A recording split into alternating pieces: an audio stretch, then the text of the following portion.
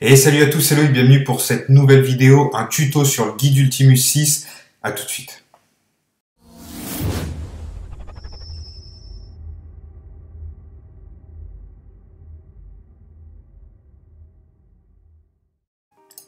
Dans cette vidéo, on va faire un peu le tour du guide, euh, apprendre à le prendre en main pour pouvoir l'utiliser de manière naturelle quand on en a besoin. Alors le guide Ultimus 6, ça a été développé par l'alliance Raging Unicorn, à laquelle s'est associée l'alliance française Hexagon et l'alliance anglaise Marvelless. C'est un guide qui a pour but de donner des exemples de stratégies pour les bases, les nodes du RAID 65 de façon à guider euh, les joueurs en difficulté dans le RAID et ainsi leur permettre d'atteindre de meilleures performances. Le lien est disponible dans la description de la vidéo. Euh, je vous invite à cliquer dessus. La première page, c'est celle-là, petite présentation euh, du guide. Alors on peut y voir que c'est développé par Raging Unicorn en collaboration avec Hexagon et Marvelless. Juste ici, le bouton Start. Euh, qui permet de lancer le guide. Avant de le lancer, euh, on va jeter un petit œil au menu de droite, nous. Euh, il est composé de trois boutons. Other Tools, autre outil en français, crédit, contact, le choix de la langue FR ou anglais, et en bas l'icône de Raging Unicorn. Alors du coup, l'icône Raging Unicorn, elle est visible sur toutes les pages.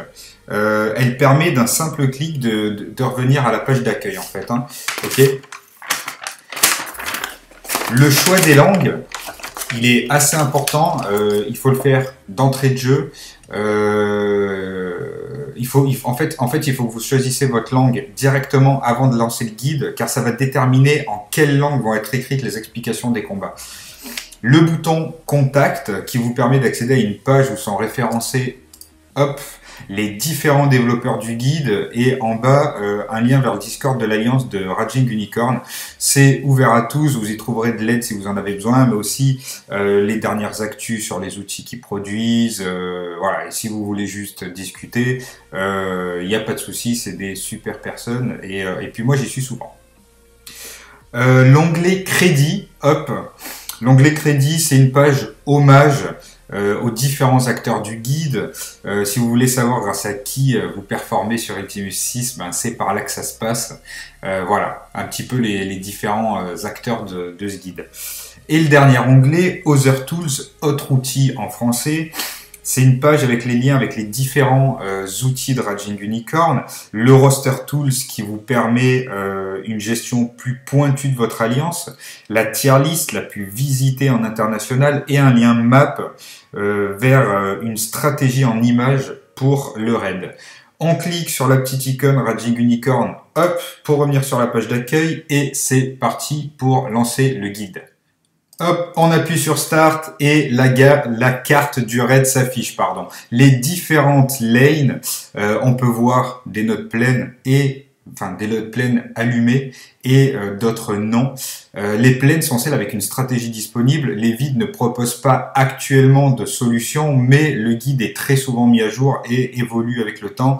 Donc voilà, à terme, il y aura plusieurs stratégies par node et euh, la map sera complétée à 100%. On choisit donc un node, euh, hop, le C2G2 par exemple, pour notre exemple, et on rentre dans la page de stratégie dédiée. Donc voilà la page de stratégie dédiée. Euh, en haut à gauche, l'adresse de la node, on voit ici C2G2.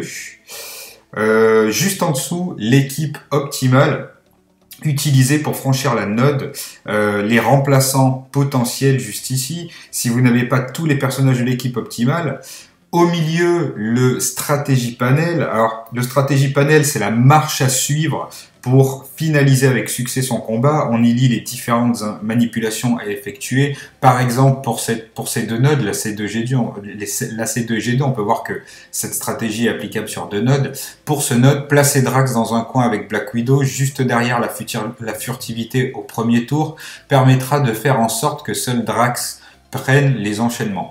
Appliquer donc l'attaque réduite de vision sur Spider-Man, puis l'étourdissement de Black Widow sur Deadpool, après son ulti sur Drax, finir Deadpool et profiter de la fin du combat pour, pour charger euh, les ultis. En fait, voilà, vous avez la marche à suivre qui est très très bien détaillée. Des fois, c'est en plusieurs combats, donc on peut le voir en plusieurs combats. Euh, ils expliquent le premier et le deuxième. C'est vraiment super. Vraiment très, très important de le lire parce que c'est lié avec l'équipe optimale. Hein. Très très important de le lire. Ok, sur la droite du guide, les targets informations, juste ici, sont listés les cibles prioritaires à tuer en premier et en dessous euh, les cibles à contrôler avec votre Black Widow ou votre Vision par exemple, comme, comme, ils en parlaient ici. Hein. Ok euh, On passe en bas à gauche du guide, on peut y voir euh, des, des, catégories. On peut voir qu'il y a cinq catégories.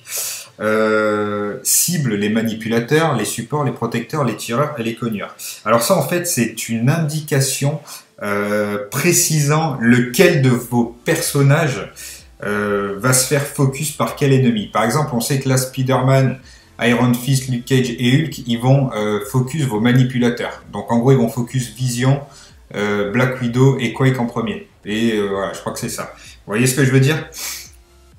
Très important à, prendre en compte, tout ça, notamment si vous utilisez une équipe différente de l'équipe optimale proposée par le guide. Hop, là on peut voir, je l'ai lancé tout à l'heure, là la, vidéo démonstrative, donc euh, qui ça associe l'équipe optimale et euh, la stratégie citée au-dessus pour accéder à la victoire. À savoir que sur certaines nodes, deux vidéos sont disponibles, l'une avec l'équipe optimale, donc c'est ce, qui est dit la basique ici, et euh, l'une et une autre dite avancée, c'est-à-dire avec des personnages moins simples à obtenir. Donc là, il y en a une, ça tombe bien. Euh, voilà, avec des personnages moins simples à obtenir dans le jeu. En l'occurrence, pour cette note-là, c'est Star-Lord, et on peut voir Star-Lord ici et Rocket Raccoon ici. Euh, voilà. Au-dessus de la vidéo, une petite icône aussi appelée Player Roster. Ça vous emmènera vers un screenshot de l'équipe du, euh, joueur qui a fait la vidéo basique et euh, vous pourrez voir la, voilà, la, la, la, puissance de son équipe et de ses personnages euh, utilisés. On finit par la, la map raccourcie, comme je, comme je l'appelle. C'est une mini-map présente sur toutes les nodes et elle vous permet de naviguer sur la carte en toute simplicité. En fait, si vous voulez changer de node, vous n'avez pas besoin de revenir au début. Hop, vous cliquez là, hop, vous vous retrouvez en B2H2 vous, vous cliquez là, vous vous retrouvez en C3G3, et au moins ça vous évite de revenir au début et à chaque fois de relancer le, guide. Vous, restez dedans sans souci. Hop, on revient au début. Voilà, c'est tout pour moi, un petit guide, euh, parce que je sais que beaucoup de gens regardaient le live de quand je l'avais présenté pour comprendre un petit peu comment ça marchait. Du coup, euh, on a décidé de faire un petit guide. Je vous remercie d'avoir regardé. N'hésitez pas à venir sur, sur les Discord pour les remercier, pour peut-être apporter votre contribution aussi. Ça sera avec plaisir. Et, euh, et voilà, c'est tout pour moi. Merci beaucoup. On se donne rendez-vous tous les mardis, 20h. Ciao, ciao.